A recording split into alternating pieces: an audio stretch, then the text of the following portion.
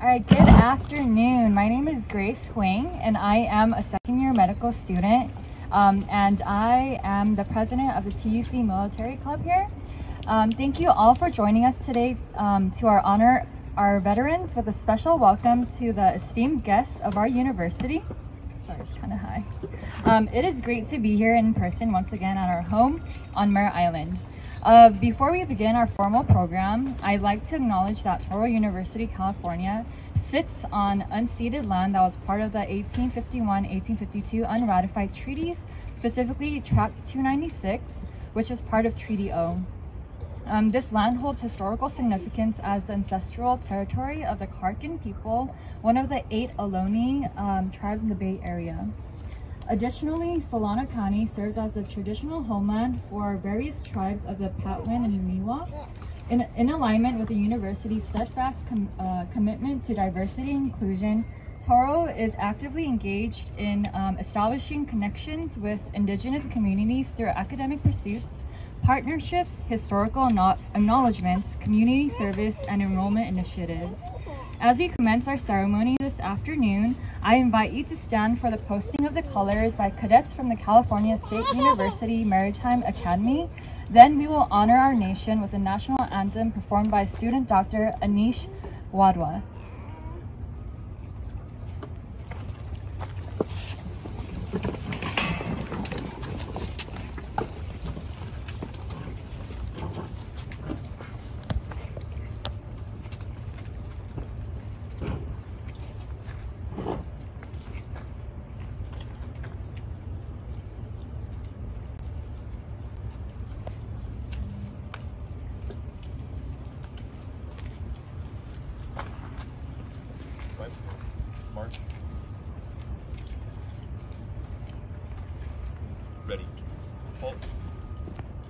present. Colors.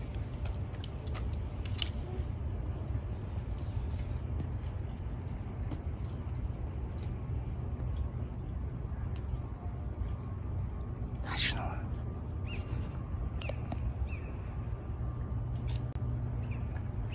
Order. Colors. Guide left.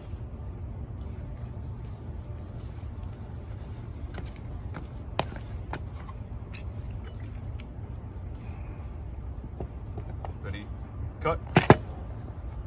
About face. Guide right.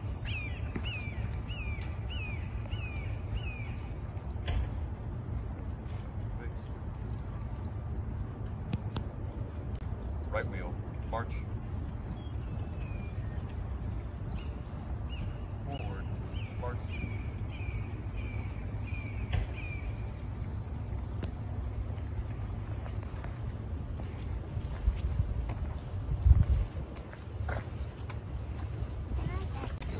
The US on the left side.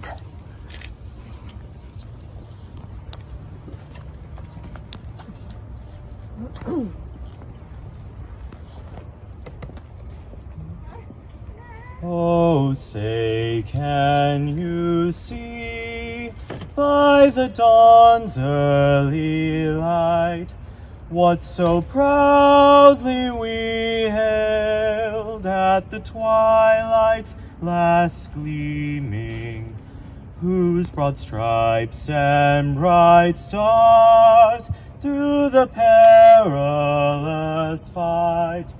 O'er the ramparts we watched were so gallantly streaming, and the rocket's red glare, the bombs bursting in air, gave proof night that our flag was still there.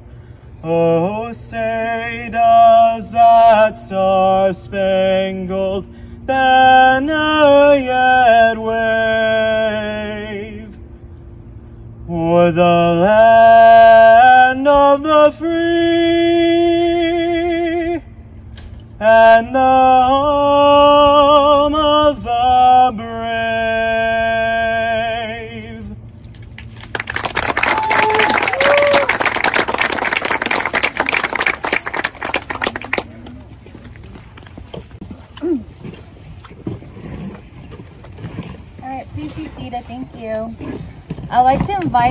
podium Dr. Tami Hendriksz, um, Interim Chief Academic Officer and Dean for the College of Osteopathic Medicine, and Mr. Newman Hoffman, Vice President and Interim Chief Executive Officer for a camp campus welcome.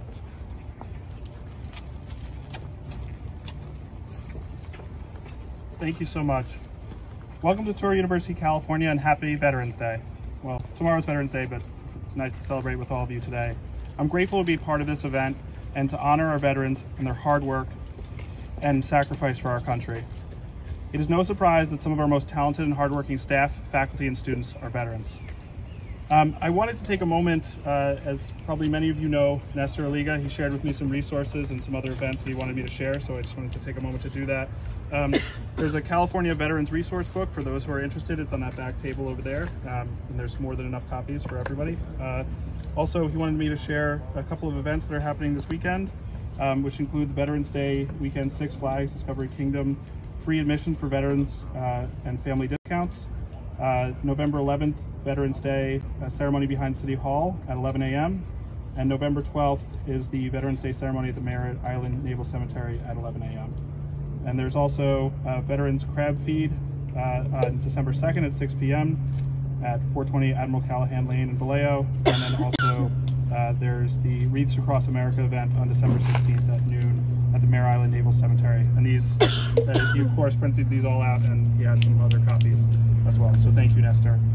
Before turning it over to Dr. Hendriksz, I just want to take a moment to thank the elected officials who've come here to join us today in honoring our veterans. Um, please hold your applause until I've read all of the names.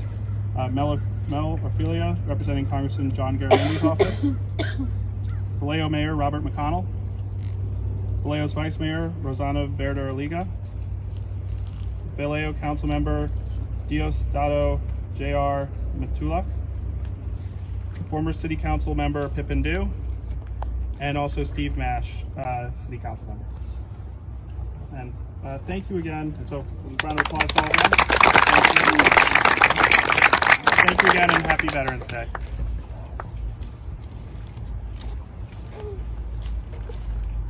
Thank you, Newman, and thank you all so much to all of you who are here with us today.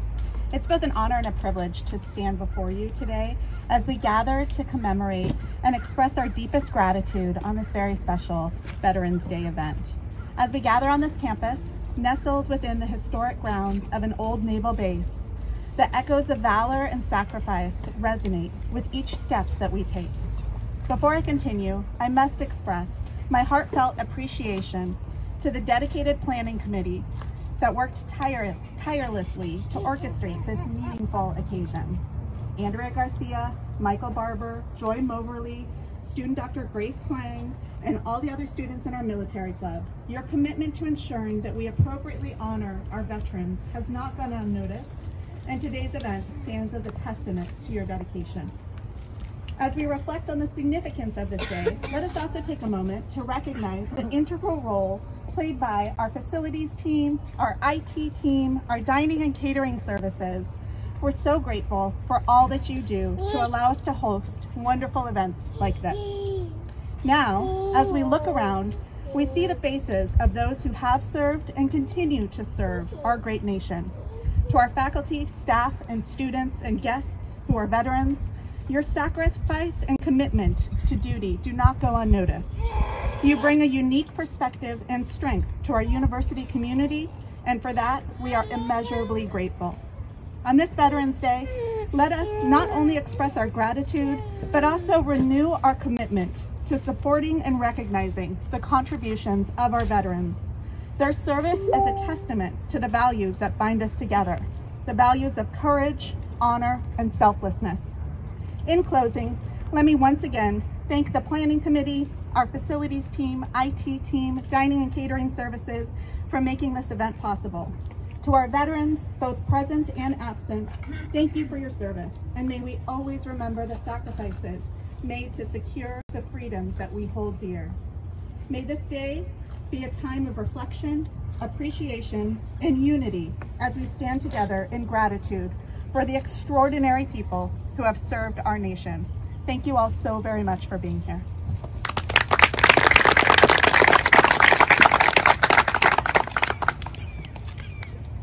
Thank you, Dr. Hendriksz and Mr. Hoffman. Now I would like to invite Mel Orpilla to share remarks on behalf of Congressman John Garamendi. Following that, we will welcome Vallejo Mayor Robert McConnell and Vallejo Vice Mayor Rozzana Verder Aliga to the podium.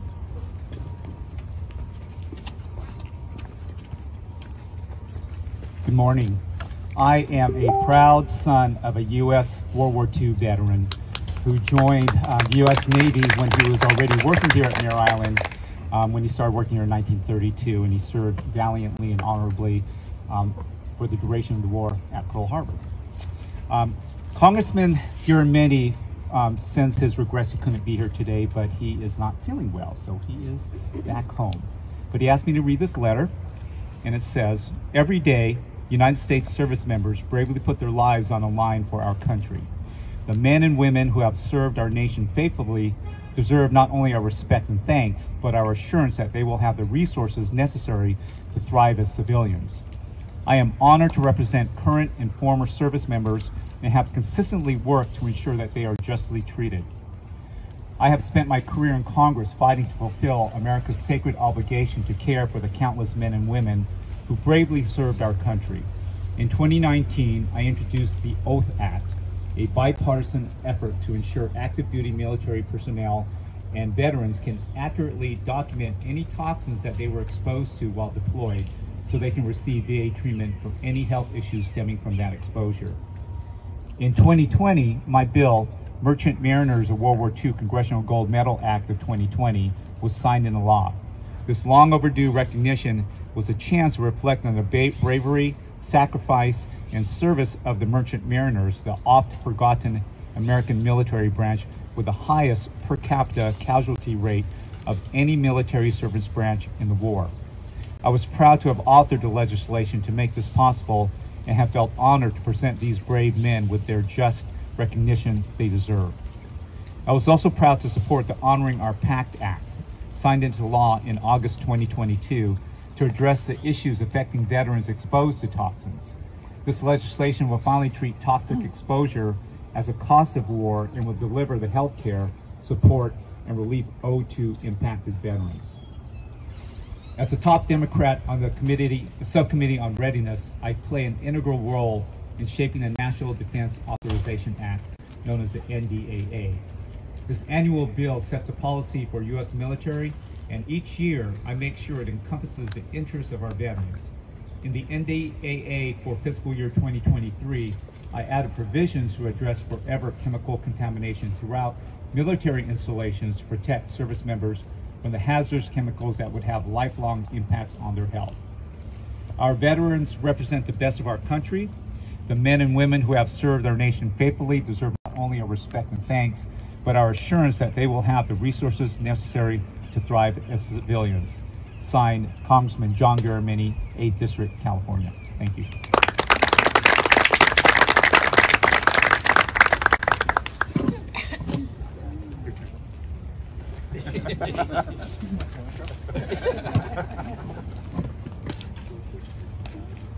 Well, good morning. Uh, it is my proud pleasure to be the mayor of the city of Vallejo and also a, a Vietnam veteran.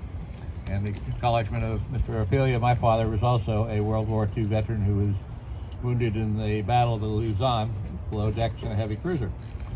But what I want to say today is, is an extremely happy day.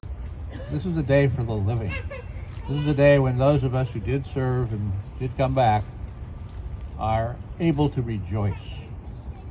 You don't become a veteran just because you separate from the service. It takes time.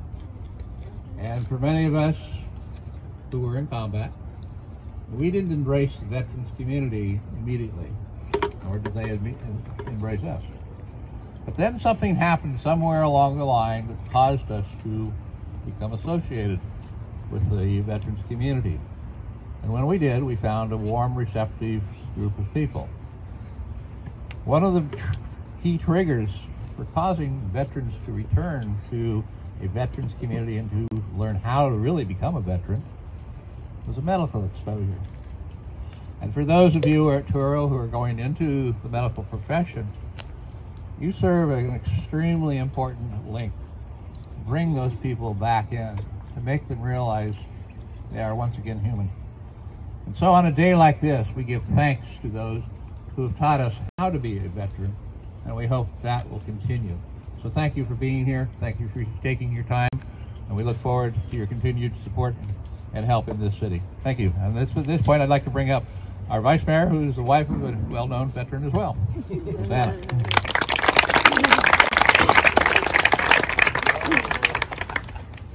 Thank you, uh, Mayor McConnell. Um, good morning. Um, not I'm, a, I'm not only a wife of a uh, U.S. Army veteran and Marine Corps veteran. My dad um, is also a World War II veteran who served in the Philippines uh, during World War II, and he's passed away at the age of 94, and will always be grateful for his service. And uh, again, I'm very pleased to be here. I was here last year, and thank you to uh, Andrea for always uh, thinking of inviting us here, and it's a pleasure to be here. So on behalf of the City of Vallejo, I, Rozzana, your Vice Mayor, humbly express our big thank you to everyone here at Touro University for always making the time to commemorate Veterans Day. It is especially most fitting to do, to do this ceremony because your amazing university became the first private Purple Heart University on the West Coast in 2014. And it is there, it, this is where the former Naval Hospital actually served tens of thousands of disabled military personnel during and after World War II. And also the Pacific Orthopedic Center was located here and it was charged with fitting all military amputees with prosthetic limbs. Our city is especially grateful to Touro University, California, and to each of you because you positively make a difference in our community and also make a big difference in the lives of people you serve here in Vallejo. And besides the world-class education, your students and faculty, you also volunteer in our community many, many hours every year, including your free clinics and educational outreach that serve and uplift everyone, especially the marginalized and less fortunate members of our city of Vallejo. And again, thank you to Touro University, California for being an amazing partner with the city of Vallejo. Again, happy Veterans Day. Thank you.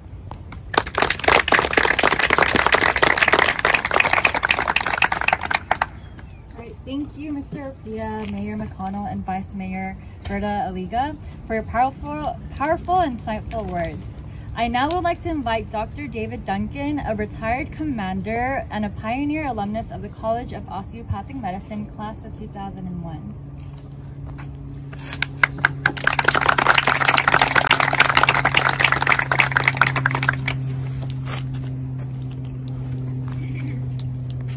Good afternoon. This a little bit here. Can you hear me okay? Nobody's ever complained that they couldn't hear me okay, so. Uh, so I, I, am honored to uh, to be here and to have been asked to provide a few words regarding the importance of Veterans Day. It's on the slider. Sorry, I thought it was I was listening. All right.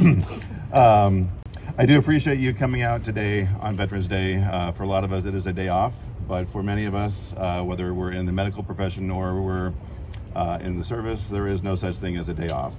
Uh, so I thank you for, for coming in today.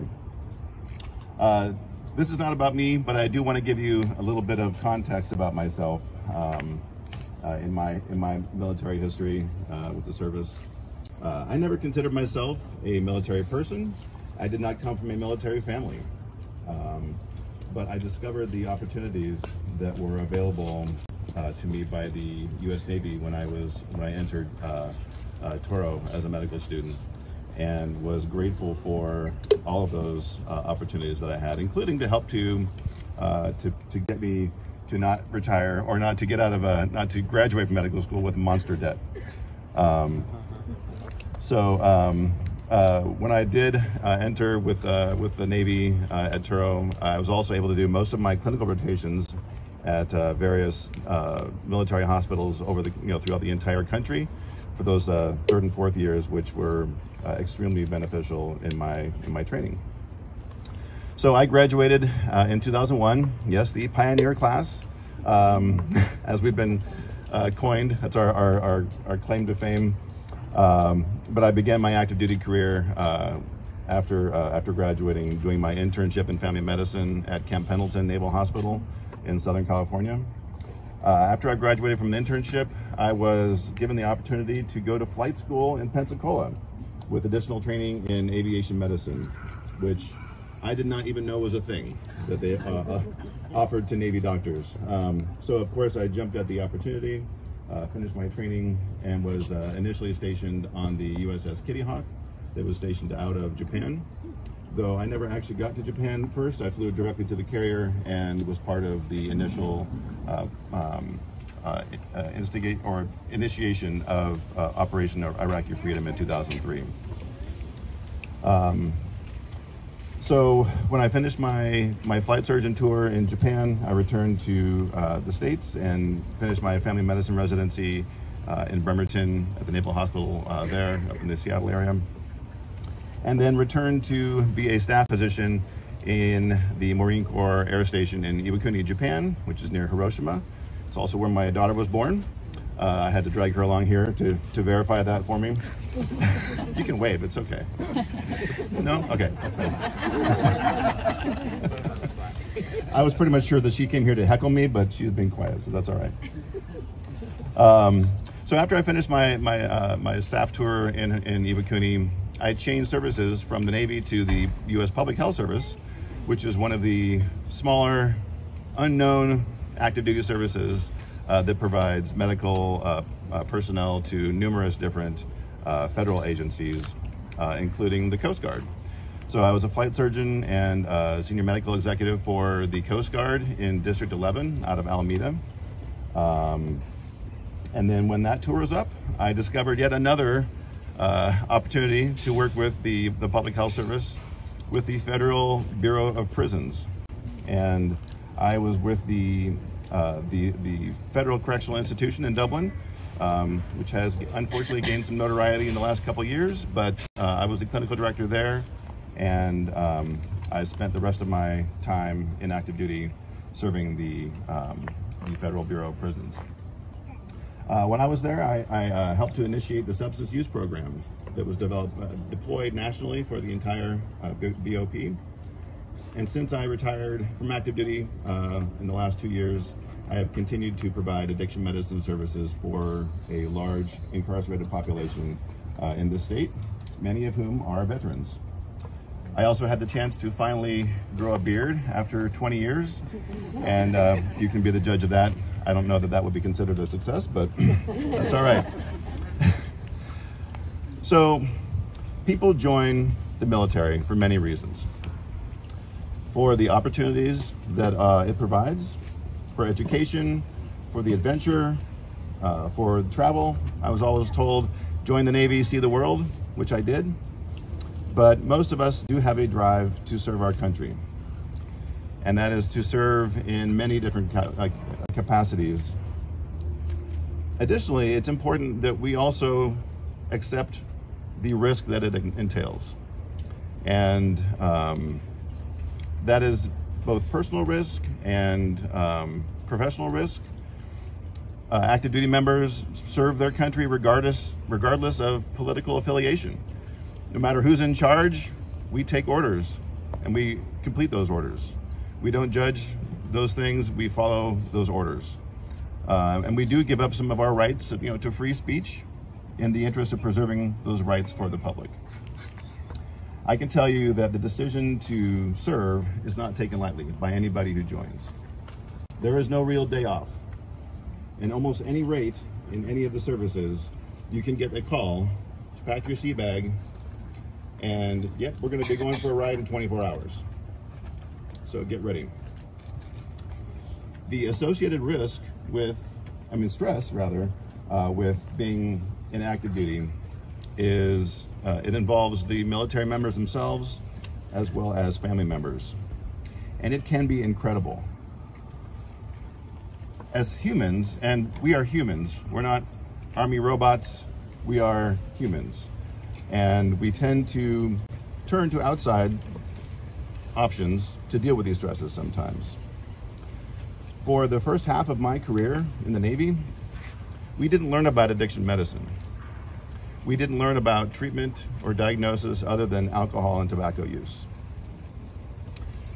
The policy was one strike and you're out. You get one test that has positive for marijuana or opiates or cocaine, and that was it. There was no exception. Um, the government does tend to move at a pace that can be best described as glacial, but it does move. And in most cases, it moves in the right direction. Uh, one of the major hurdles with identifying, diagnosing, and treating substance use disorder is the stigma that is associated with substance use. And that's the same whether it's in the community or whether it's in active duty. Friends, family, and even the service that you swore an oath to frequently view substance use as a failure or a lack of moral fiber or a weakness. You just made a bad choice and you got to pay for it. A few years ago, our policy for even the community was just say no to drugs. Exactly. Great response. And that's that was not effective. It did not take into consideration how addiction actually works.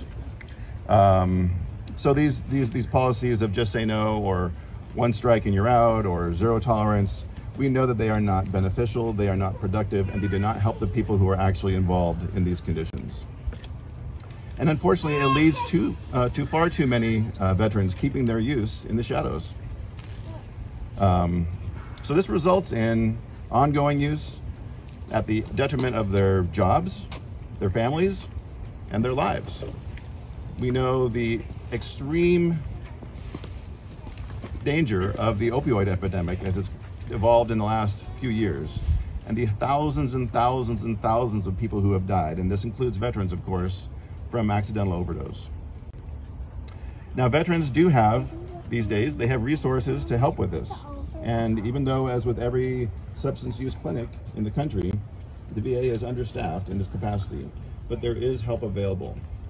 And they are making a difference in increasing that benefit to veterans. So this is my this is my point to you. The battle against substance use is one that we cannot fight alone. It is a formidable enemy that can silently infiltrate our lives, affecting not only our own well-being, but also our families, our friends, and the very communities that we're sworn to protect. I implore each one of you to recognize the signs, not just in others, but within ourselves. Substance use does not discriminate. It can affect any one of us. That's regardless of rank, background, experience, financial status, race, gender. It affects everybody. Everybody in the community, everybody in the service. And it is vital that we provide support, understanding, and resources for those who may be struggling.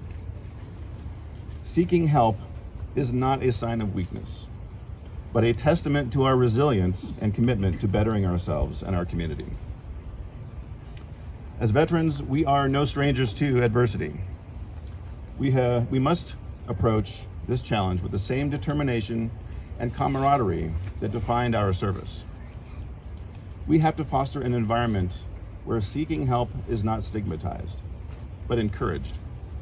A culture of support, understanding, and acceptance. So let us be vigilant and compassionate, offering a helping hand to our comrades who are navigating the complex path towards recovery. Our duty to our nation did not end when we took off the uniform.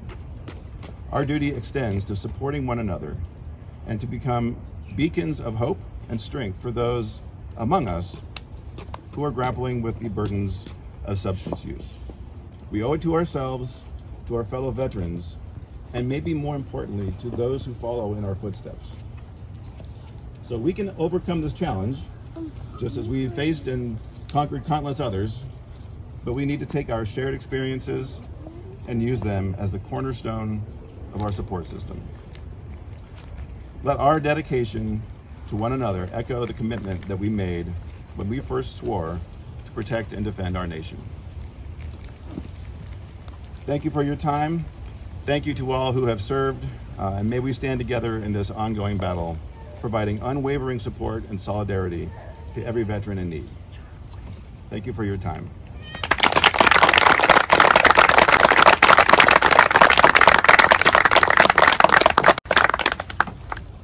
All right, thank you, Dr. Duncan, for your enlightening remarks.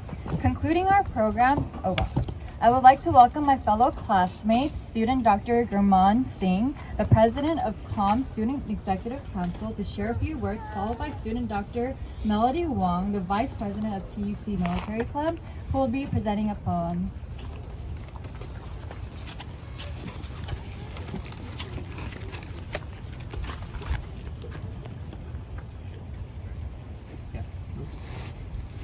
Thank you to everyone, and thank you, Grace, for that. So, ladies and gentlemen, esteemed faculty, and most importantly, our honored veterans and guests. On this meaningful occasion here at Touro University, California, we come together as a community to extend our deepest gratitude to those courageous service members who have served our nation with unwavering dedication and sacrifice. Today, we reflect not only on the valor displayed on the ground, but also on the resilience and commitment of those who have chosen the path of service. In our midst, we have individuals who have not only embraced the call to heal, but have also answered the call to defend our freedoms. To our veterans here at Touro and beyond, we express our heartfelt, heartfelt thanks. Your sacrifices have paved the way for us to pursue knowledge and healing. Your dedication to both education and service sets a brilliant example for us all, inspiring even some of our own students to embark on a journey to serve our country in the future.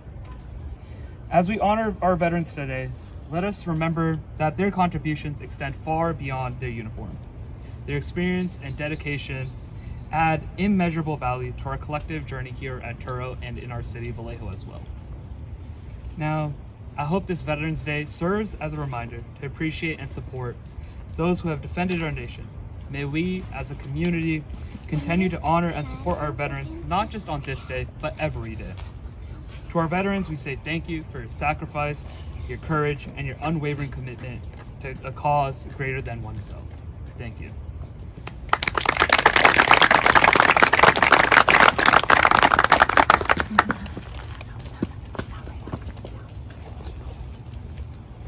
Happy early Veterans Day to the Touro University California Committee. My name is Melody Wang, a second year medical student here representing the military club at Touro University, California.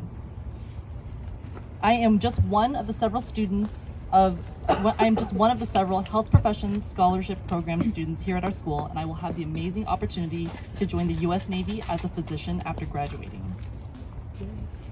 I am honored to stand before you all today on this historic ground of the U.S. Navy's first base on the Pacific coast. I can think of no better place to continue to continue and complete my medical education uh, before I leave to serve our nation's sailors and Marines in the fleet.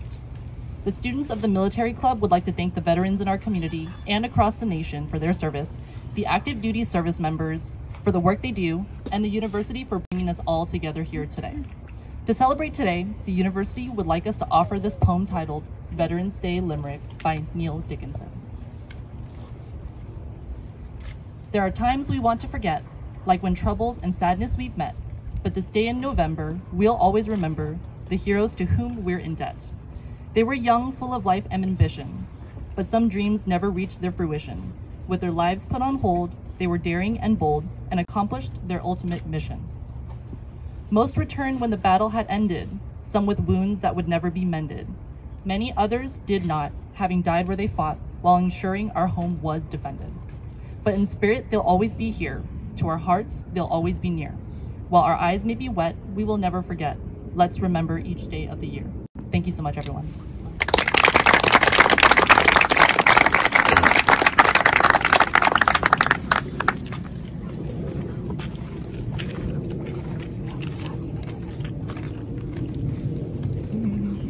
Okay, thank you to student Dr. Gurmun and Melody for your beautiful words. This brings us to the end of our Veterans Day ceremony. Before we retire the colors, I want to extend my heartfelt gratitude to all who played a role in today's event, um, from participants to our organizers. Special appreciation goes to dedicated individuals in IT and facilities for their efforts in setting up and maintaining this wonderful space.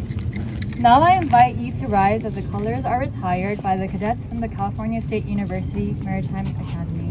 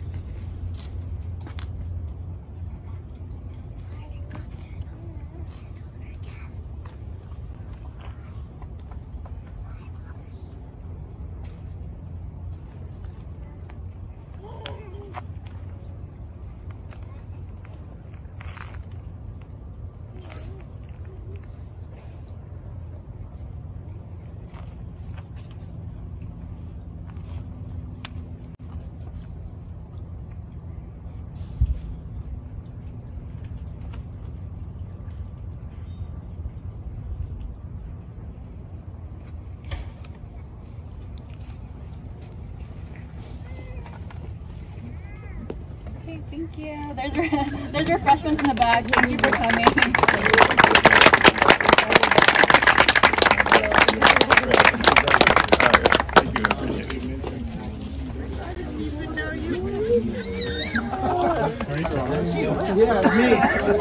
Yeah, I forgot.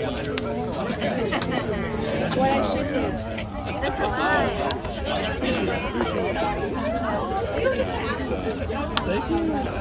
Super. I mean, maybe that's the wrong word. Maybe it should be the right word. It should be super.